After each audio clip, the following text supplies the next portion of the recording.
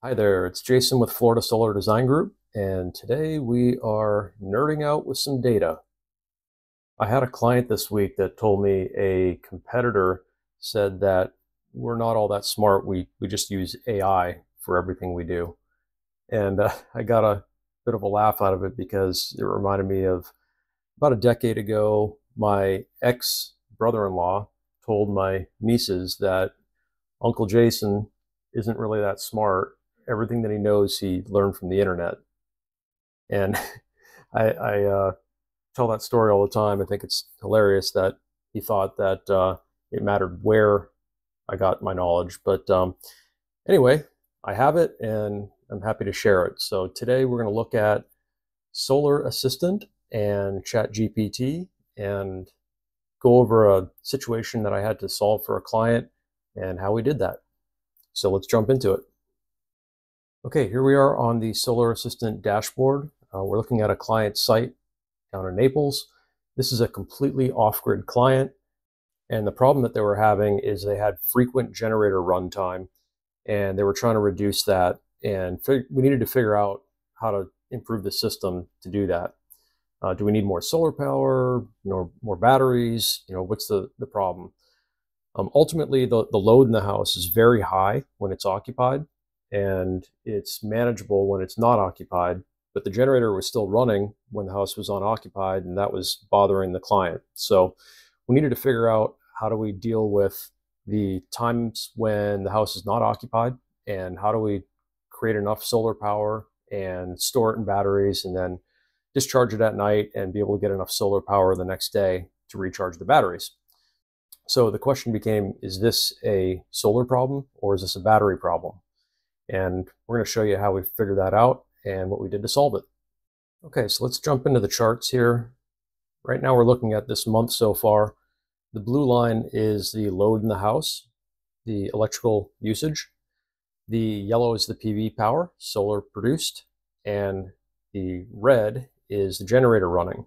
So you can see when the house is heavily occupied here, um, the load power is high and the generator is running frequently that's to be expected. Um, the system really was never designed for a, a heavy load use case. This is a off-grid home. It's a beach house. It's not occupied very often, but uh, when it is occupied, it's going to have some generator runtime. So that's understandable. The big problem is back here, July 1st, July 2nd. You know, the generator ran here in the morning, and that's what we're trying to avoid. It also happened here, um, right here on July 5th and 6th, the evening of the 5th, morning of the 6th, the generator ran again. And, and that's exactly what we're trying to avoid. So let's focus in on July 1st and 2nd here. I'm going to zoom into this area.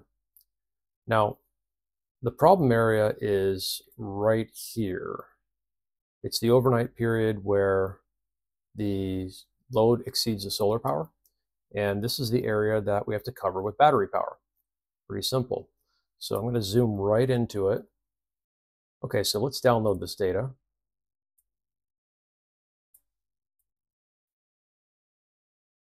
ChatGPT lets us grab this data for different time increments. Right now we're looking at 30 second increment data.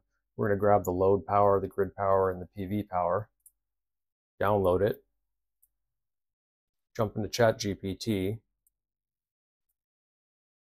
upload it to ChatGPT, and I'm going to ask it to analyze this data,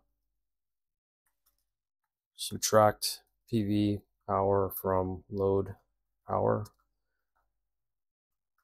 give me total kWh, kilowatt hours.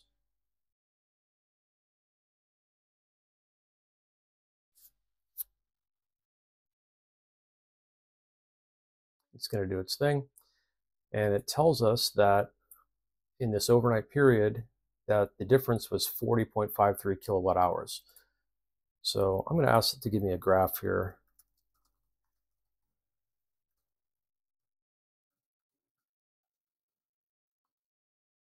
Let's see what it comes back with. This will help us visualize it a little bit better.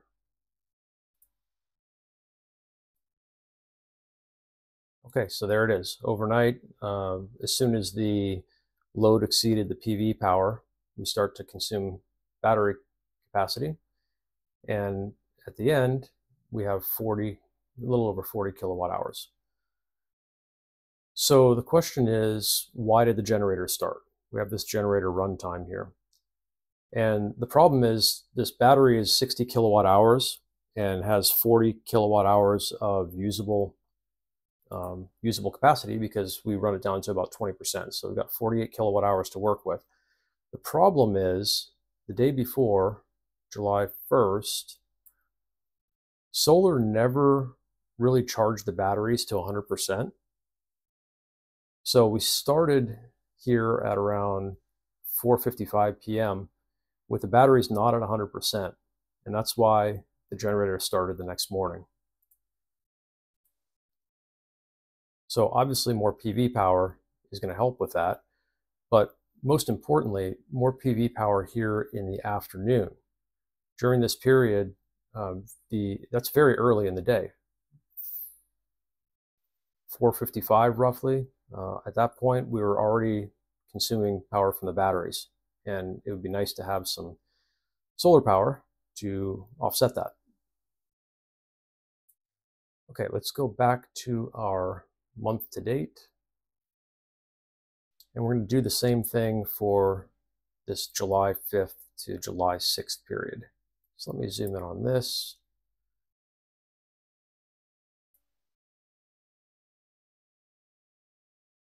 Now we can see here that on July 6th, it was a very kind of a bad solar day, especially in the morning, bad solar morning.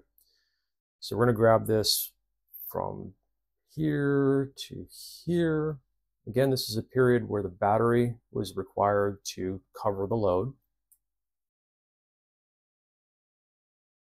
We're going to download it. Change the settings here. Okay, so we've got that data. We'll jump back into ChatGPT. And I'm going to say do the same thing for this data. Upload that file.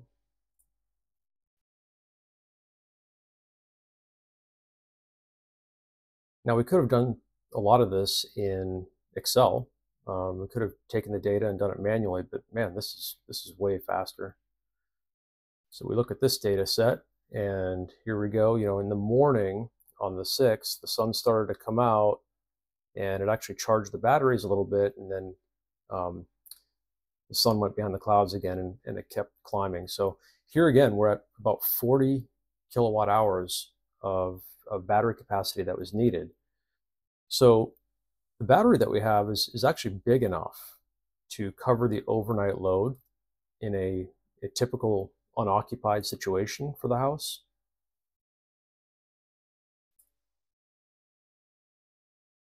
Uh, now, when the house is occupied, the generator is going to run, as we said, but we're really trying to avoid this situation where the, the load at night is actually very manageable, but that generator is starting up in the morning.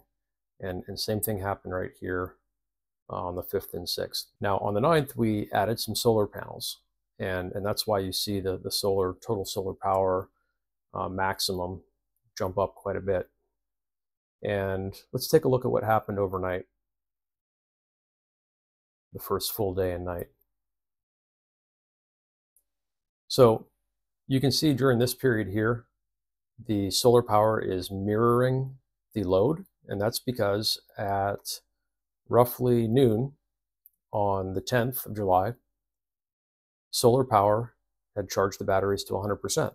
So through this entire afternoon period, the solar power was carrying the entire load with the battery sitting at 100%. Now at 4.53 roughly, the sun went behind clouds. It actually probably rained here. The solar power went down to essentially nothing.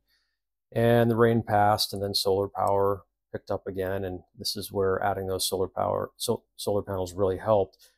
And, and I'll get into that in a second here. But uh, solar actually was covering the load here for a couple minutes in the afternoon. And then, of course, the sun goes down and we have to carry the loads through the night. So let's look at this period from here to, let's go to right here, because that's where the solar power started picking up the load. So this is our nighttime period, and we're going to download this data.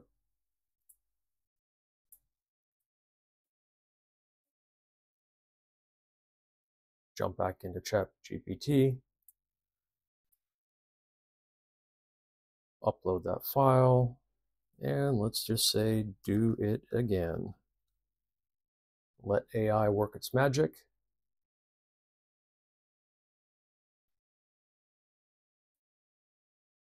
And here you go. So overnight, we only had to cover about 27 kilowatt hours, 28 maybe kilowatt hours overnight. And, and that's less than those other nights. But why is that? That's because we shortened the window. We really reduced the time that the battery had to carry the load. By adding panels, we got some performance in the late afternoon hours, and then in the morning, solar came up to speed a lot quicker.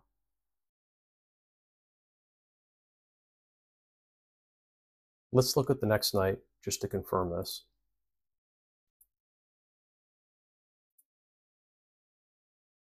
Okay, we're talking about this period here.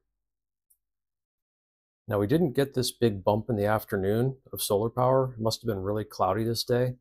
But on the 11th, again, you see the battery was at 100% through most of the afternoon until about 4 o'clock. And the battery had to carry the load until about 8 a.m. the next morning. So let's download this data.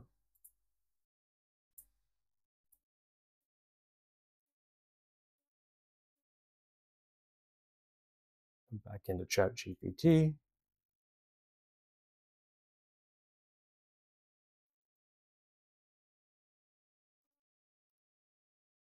Do it again.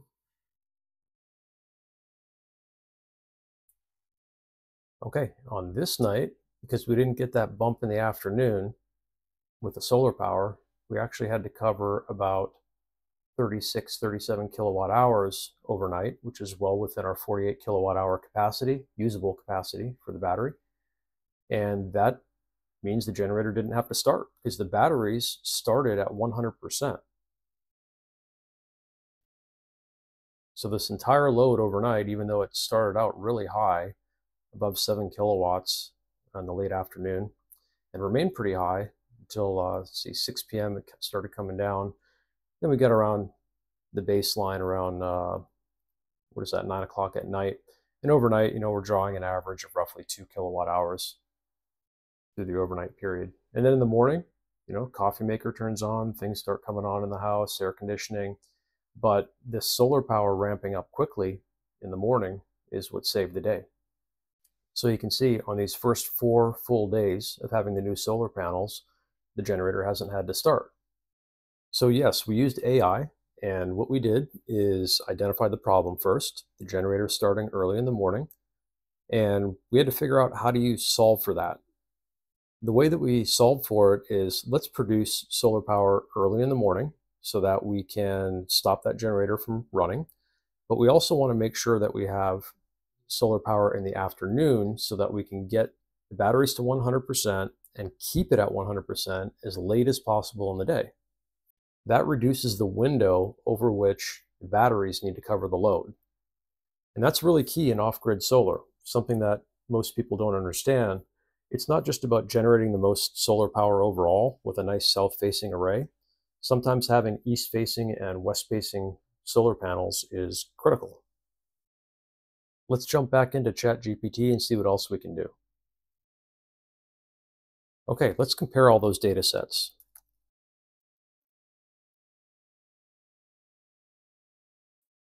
Okay, so this is interesting. The first data set was that day that the batteries had to cover about 41, 42 kilowatt hours. Same thing in that second data set. Uh, these are before we installed the solar.